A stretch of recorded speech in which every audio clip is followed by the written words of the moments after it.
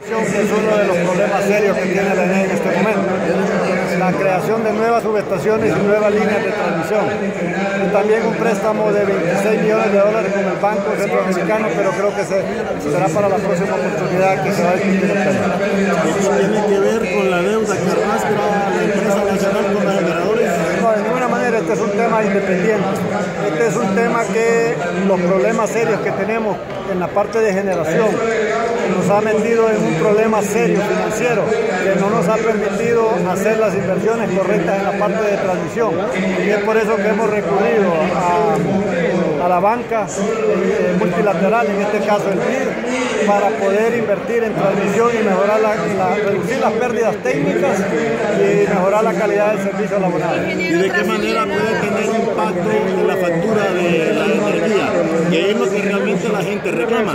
Bueno, es correcto. Lo que estamos bueno, en este tema, la, la, tarifa está influenciada más por un tema de los costos de operación.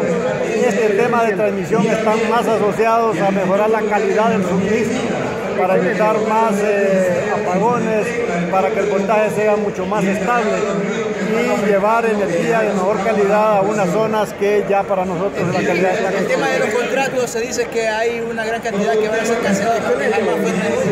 ¿Cómo van a, tratar el tema? Bueno, efectivamente, eh, nosotros hemos llegado a la conclusión que existe una gran cantidad de contratos que no llegaron al pleno ni fueron aprobados por el contrato y que fueron negociados bajo el modelo de adquisición de la energía eh, antes de la entrada de la ley de la nueva, la nueva ley. Nosotros consideramos que esos son precios demasiado altos.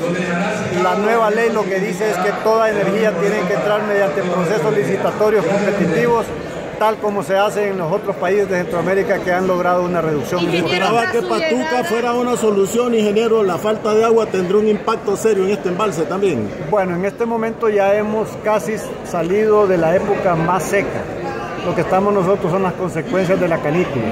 Eh, sí nos ha impactado y sí ha impactado a los generadores precisamente por una reducción de, de la energía. Parte del problema que tenemos en Olancho y parte de lo que tenemos en Ceiba a pesar de que nosotros hemos invertido mucho en generación térmica, está asociado a que se ha bajado la generación hidroeléctrica. Pero creo que ya Meteorología ha anunciado ya en los, próximos días la llegada del invierno y con eso se reactiva de nuevo el, el parque hidroeléctrico.